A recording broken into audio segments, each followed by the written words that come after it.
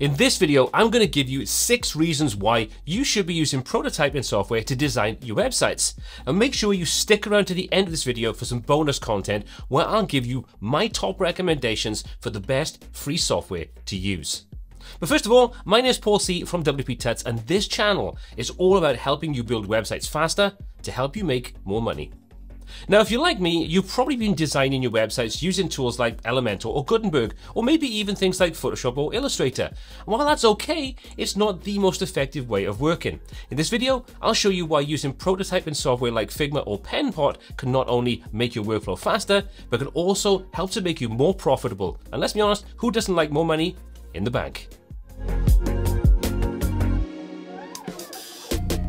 When we conceptualize something in our heads, it can often seem like a great idea. However, when we try to put it into a more concrete medium, such as on a piece of paper or a computer screen, it often turns out to be a pretty terrible idea. So for example, let's say you're designing a web application card. You may start by adding everything you need into that design, which leads to an overwhelming end result for the end user. You may be able to simplify that design or improve the user experience by changing the layout of some of that information replacing text buttons with simple, clean icons to convey the same end result, those kinds of things. Now, a prototype can help us identify problems with our design concepts so we can fix them before moving on to any form of production. Prototyping allows you to refine the website to improve the site's overall quality and usability before launch. So during the prototyping stage, you can easily test the site's usability, which includes checking whether the site is easy to navigate and those kinds of things. So creating prototypes allows you to quickly improve design concepts. You can revise and refine the ideas in minutes. So using my initial example, I quickly identified some design issues that I wanted to address. I can now visually validate my proposed solution to see if they solve my findings or if more work is still needed to find the best solution for the problem. Developing a user interface or UI is basically about finding and creating optimal methods for users to achieve a given task. To do this, you'll spend time coming up with various different ideas and solutions. So the easiest way to find the best solution is to compare several ideas through prototyping them. So here's an example of how I streamlined my initial idea for managing the content in my web app adding in the relevant components and revising them until I find the optimal design and configuration for the user. If you have to describe how an interface works, it can be difficult to convey the many nuances that may need to integrate into our solutions. This can end up with miscommunication or poor feedback from our user group.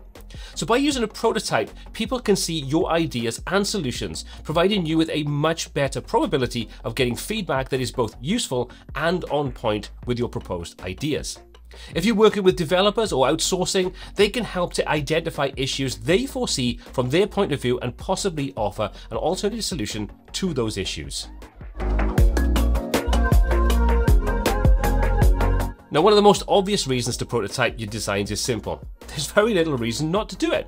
You can integrate it into most design processes with very little interruption. So no matter how you currently design your ideas, whether it's on a notebook or using a tool like Photoshop or Elementor, using one of the apps I'll cover in the bonus section should make the process even easier and much more importantly, quicker.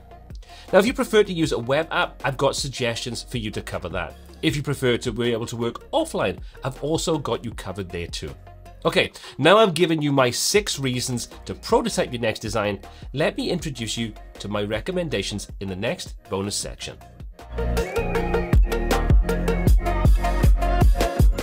Now as a bonus, here are my three top recommendations for free prototyping tools you can start using right away.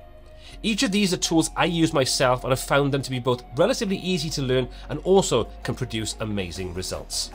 So probably the most obvious one is going to be Figma. Now even though this was bought out by Adobe very recently, you can still have access to that completely free plan. So you can see this will give you three Figma and three Figma Jam files with unlimited personal files, collaborators and so on. Should be more than enough to kind of get your chops up, to get you used to working with it. Once you've kind of got to that point, if you need more, well, you're probably making money out of this and therefore you can probably pay for it. But as you can see, it starts at about $12 per month per editor. So it's not a massive amount of money. And if you are making money from this, well, you're to kind of make even more money by being quicker. Now, one of the other things that's worth bearing in mind with a tool like Figma and the fact that it is pretty much one of the de facto tools out there, you get a huge amount of access to free files and tools and plugins and add-ons, all manner of different things that can make Figma not only a great tool to work with, but also the whole process of doing things like wireframing, prototyping, all those kinds of things so much quicker and easier by simply grabbing and pulling in any of those free resources. So check out figma.com, links in the description below.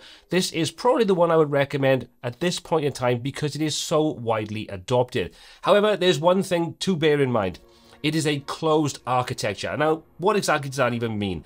Well, basically, any file you create inside Figma can only be opened with Figma. You can't export this to another one of the tools that we're going to take a look at in this bonus section. Bear that in mind. So as long as you don't mind that and the prototypes are going to be all contained inside Figma, you are good to go. It is a very, very powerful tool. Second on my list is Lunacy from Icons 8. Now, I really like Lunacy. It is definitely a solid tool. One of the key things that I like about it though is you can use this 100% offline. It's an application you can install on Windows, Mac, or Linux, so nobody's going to be alienated based upon their operating system. Once you do go ahead and install it, you then have a very powerful application you can start working with. It's very similar in a lot of ways to a tool like Figma, and you'll find that across the board. Whichever of these you decide to test out, even if you test all of them out, you're going to find there's a lot of things that are very similar between the different platforms. But one of the things I really like about Lunacy is the fact that this comes from Icons 8, which have an abundance of illustrations, icons, images, photos, and all manner of different things. And that's integrated directly into the Lunacy platform. So you can simply come into icons or photos or illustrations and you can go ahead and you can search and filter and you can add those into your prototypes directly inside here. You've also got UI kits, so if you want to grab anything to do with iOS or you want to work with iPad or Mac OS or Windows or anything like that, all those elements are integrated into the platform itself. And you can simply open up any of these and then drag and drop them into your design.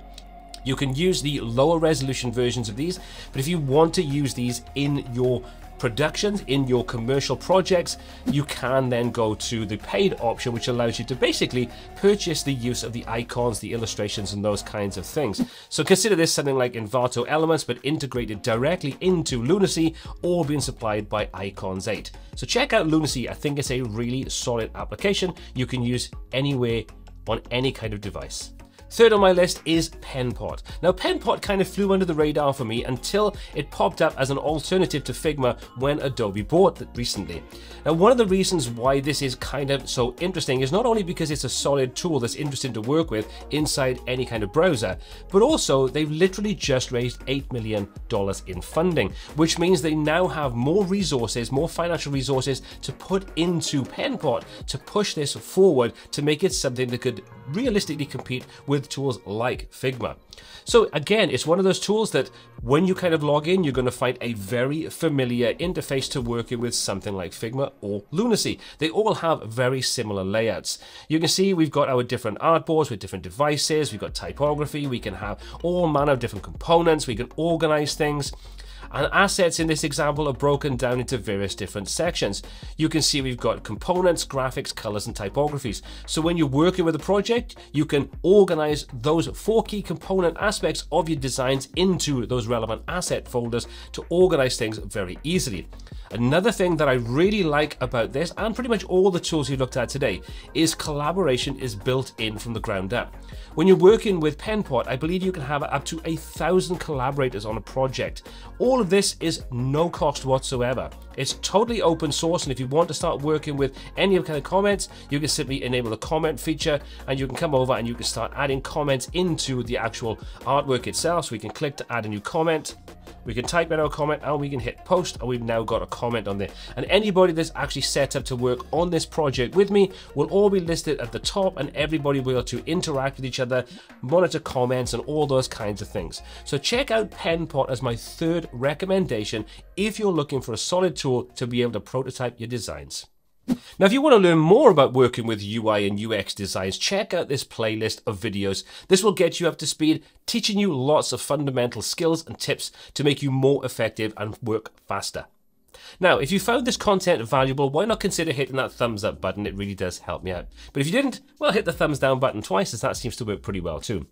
All applicable links are in the description below. My name is Paul C. This has been WP Tuts, and until next time, take care.